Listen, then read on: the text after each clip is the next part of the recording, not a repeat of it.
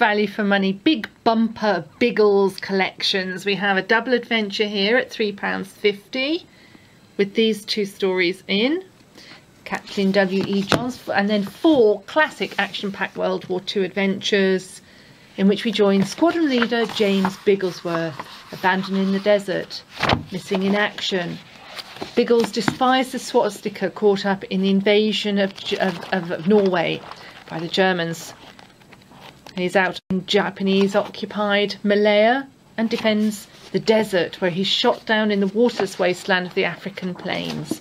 643 whopping pages was published at £12.99 and through Bibliophile Books is just £5 and this one as I say £3.50 so buy these two from bibliophilebooks.com tremendous value